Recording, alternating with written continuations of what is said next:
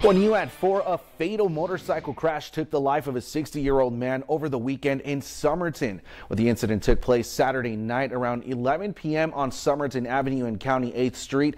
Yuma County Sheriff saying that 60-year-old Raul Reveles failed to negotiate the curb on County 8th Street and was ejected of a green 2008 Kawasaki motorcycle. Well, he was later transported to YRMC where he sadly died there and succumbed to his injuries. The incident is still under investigation, but authorities believe that alcohol may have had been a factor in the deadly crash.